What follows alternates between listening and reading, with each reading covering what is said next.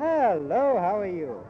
What would you like for Christmas? Um, uh, a bike. a bike? What yeah. sort of a bike? Come and Um, tell me about it. Um, one with all two little brakes on that you can stop it wi- with a bell on. Yes, you must have brakes on the bike to stop it, mustn't you? Yeah. And a bell to warn people that you're coming. What's your name?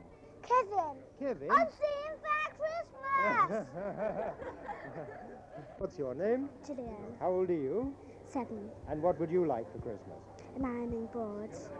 Ironing board to iron the things for your dolly. Yeah. Hello. Hello, What's your name? Lilith. What would you like for Christmas? Oh, okay.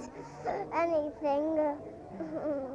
What's your name? Lynn, What would you like for Christmas? An underskirt. An underskirt. How old are you? Eight, And what would you like for Christmas? a Bible. A Bible. Yeah, Well, that's very nice indeed. You're fond of the Bible, are you? yeah. What would you like for Christmas? I would like a two-wheeler bicycle and and a clockwork mouse and and a penny whistle. That would be very nice. Well, I hope we can bring them along for you at Christmas time. Goodbye.